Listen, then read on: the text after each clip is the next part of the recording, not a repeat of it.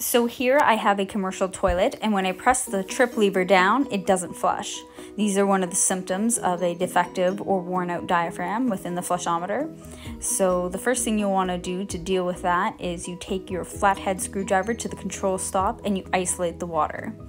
Once that is off, I always like to hit the trip lever again, relieving any pressure that could be within the flushometer. Then you'll go ahead and take this spud wrench, mine's by Milwaukee, but any one of them will do and you unthread the cap. So this is threaded.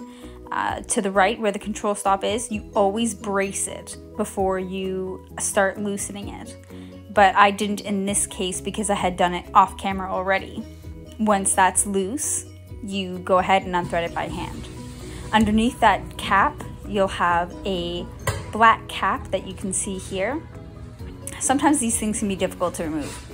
You just take a flathead and kind of pry it uh, normally I don't get so much slip, but just because I was doing it one-handed. And there you can see the diaphragm within the flushometer.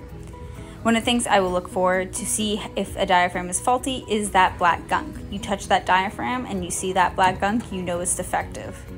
I mean, look at that. Look at the black water running off that.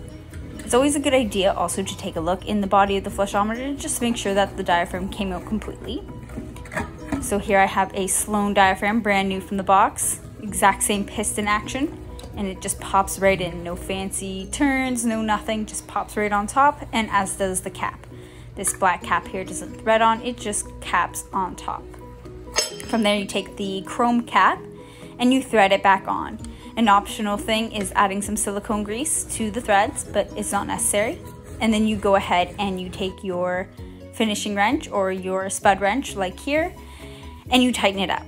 One thing I will mention again, when you tighten or take off these caps, you have to brace them at the control stop here. Uh, if you damage it, you can have an uncontrollable start like flow of water. And here, after I finish doing that, I like to wipe down the flushometer just to make sure if anything is leaking, I can visually see it quicker. I'm turning on the water now and it is flushing. So that's a good thing. Looks like it's working. And then I go ahead and I test that. I flush that toilet several times to make sure that it is indeed working. And as you can see from me loosening that cap, I also loosen the spud at the bottom, which is why I wipe down to make sure I can see any leaks. I take my spud wrench again and tighten it at the spud. After doing that, I see that the flushometer is perfectly operational. And that's it. That's all it takes to change a diaphragm for a Sloan Regal.